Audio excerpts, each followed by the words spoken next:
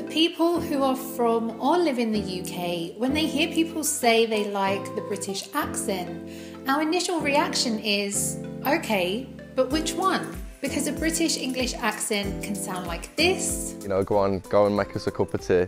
Uh, and I was half fuming, thinking, no, hold on, I ain't making a cup of tea, I ain't got my present here. Or this. Don't know why you're doing it, but stop. Or even this. You can have a chicken in the breakfast if you ask for chicken in the breakfast. Breakfast, is it? Breakfast. They're crazy different, even if you don't notice so much now. So, in this lesson, you'll learn some interesting facts about the most difficult British accents and will challenge your listening comprehension of these accents. So, get ready. If you're new here and frustrated with boring methods of learning English that just don't seem to work, you've come to the right place. Each week, we create lessons like this to help learners like you get comfortable using English naturally and with confidence, anywhere and anytime. If you'd like to be part of our global community, be sure to hit that subscribe button and the bell down below so that you never miss out on any of our new lessons. So, today I'm going to talk about six interesting and difficult to understand accents, especially if the speaker has a strong accent. But before I reveal what those six accents are, I'm going to talk about RP, which stands for Received Pronunciation. This accent is said to be sort of the standard British accent. This is the accent that you might be more used to hearing or perhaps being taught at school. But it's good to note that even though this may be the accent that people think of as the standard British accent, only about 2% of the population actually speak this way. So that's why it's so important to learn all the other accents as well for your comprehension and for your listening. Received pronunciation is the Queen's English. It sounds like this Christmas can be hard for those who have lost loved ones. This year, especially, I understand why. This more classic RP accent sounds posh and words are articulated pretty clearly. But there's also a more modern version of it called Modern RP, which is like the accent Emma Watson has. English guys are like very well put together and they dress really well and they're like very well mannered. Um, but, but they're also very restrained.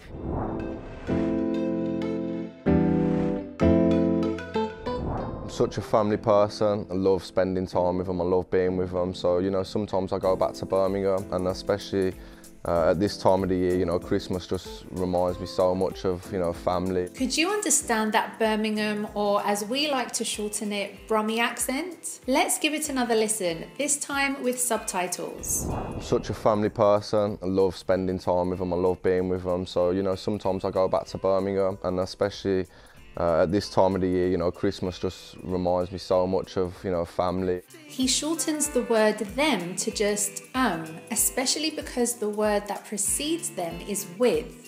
So, normally in connected speech, one of these sounds is not pronounced, but actually, he pronounces the TH in with as v, which is typical in quite a few British accents. The thing that's tricky about the Birmingham accent is the vowels. For example, the word bus you might expect in Britain for people to say, but us. They say bus, or they'll say us as us. Same thing with pub, pub. Notice also how he says love as love. This sound is synonymous with northern accent, so the further north you go, the more common it is. Usually, also, the word of gets reduced a lot, so you'll actually only hear an uh sound. For example, in the phrase a lot of money, you would hear a lot of money. In general, this accent is quite soft and elastic, and it just has its completely own different sound. If all of a sudden you popped up in Birmingham, would you be able to understand the locals from there? Let's put your listening comprehension to the test. What does he say here? It was it was a BMX I'd, I'd asked for. I was desperate for one. It was it was an orange BMX. It was it was a BMX I'd, I'd asked for. I was desperate for one. It was it was an orange BMX. Could you understand what he said? Leave a comment down below and let us know what you think he says. We'll be checking. It was it was a BMX I'd, I'd asked for. I was desperate for one. It was it was an orange BMX. Another word that you might notice being said differently if you compare it with a modern RP accent is the word right. You might expect someone from the UK to say right. However, in Birmingham, they say right. It's a completely different sound. Right, boys, you're all here. Today, this is my fucking wedding day. Yeah. So many learners feel the same way you do. You have plenty of ways to listen to English, to read it even. But in your day to day life, you have few, if any, real opportunities to use what you're learning by speaking. So we decided to solve this problem by creating our real life app. This is the only place where anytime, anywhere, you can just press a button and start practicing your English instantly with other English speakers from all around the world. You can have fascinating conversations about your life, your passions, different cultures, or even just about the weather if you want. And that's not all. You can listen to the full interviews of all the experts you're watching on the Beyond Borders with Ethan talk show, with a full interactive transcript and vocabulary definitions.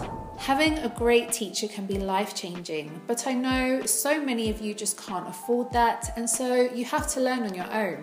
We made the Real Life app a free resource that you can use to improve your speaking. So download it now for free by clicking up here or the description down below. Or you can just look up Real Life English in your favourite app store. Our next tricky British accent is Glaswegian. Good to come back to Glasgow because you can speak. You know, when you travel with a Scottish accent, it's kind of hard. Nobody understands anything you're saying. No, I've done a few. I've done a few TV shows. I'm a pretty fucking big deal. You know? Glaswegian is the accent from Glasgow, the capital of Scotland. Now, Scotland has many different accents and even their own language, Scottish Gaelic. It's also worth mentioning that although Scotland is part of Britain, we would rather call their accent Scottish as it is a country in their own right, and so we wouldn't really call it a British accent. Bannachtí na ar chláán mhór na ngéal, sa bhaile agus na crinne, ar ar lá náisianta ceir a héin. There's not just one Scottish accent, but I think one of the hardest to understand for non-UK residents and even UK residents is the Glaswegian accent from Glasgow. Check out this bit of stand-up comedy by Kevin Bridges. When you've got a Scottish accent on the telly, you need to try and enunciate and use proper English, but it's hard to find the right balance because no matter how hard you try to enunciate and use proper English, so, did you notice the way he said telly? Telly is a British way of saying television, or rather than saying TV, we could just call it the telly. However, that last sound there, he pronounced it very different to the way I would. He pronounced it as tele, tele. So it has more of an e sound at the end there. So words that end with y, you'll usually hear that in the Glaswegian accent. Here's another example of this accent from James McAvoy. This might be the first time that you've heard my native accent, because in most of my movies, my accent is either English crumpet or it's American hot dog. But I'm actually very proud to be from Scotland. Did you notice there the way that he said the words proud and Scotland? This is very distinctive of the Glaswegian accent. So rather than say proud with that ow sound, he said proud and he said Scotland, not Scotland. So those vowel sounds are very different. Test yourself with this accent. What does Kevin say here? I'm sitting beside the guy that's pulled in three and a half billion dollars. I'm sitting beside the guy that's pulled in three and a half billion dollars. Crazy how different our accents are, right? I'm sitting beside the guy that's pulled in three and a half billion dollars. My accent isn't exactly RP, it's probably what we would call estuary, which maybe I'll leave for another video to explain, but this is probably why you can understand me a little bit better and maybe struggle a little bit with Kevin. If you want to learn more about this particular accent, then why not listen to Sir Alex Ferguson? You can watch this this lesson as well, where his accent is featured.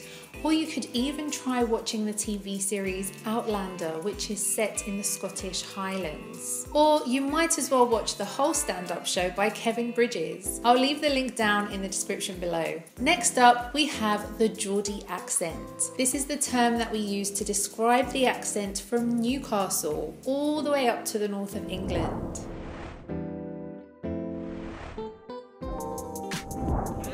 Americans got on with your Geordie accents? Oh, it's getting better, isn't It's it? all right. We have to like slow down when we speak, say with T's, and you know, make sure we don't sound too Geordie. One of the biggest differences between Geordie and RP is that the R's at the end of words aren't pronounced and tend to be pronounced as ah instead. So a word like sugar becomes sugar, and a word like space center becomes space center.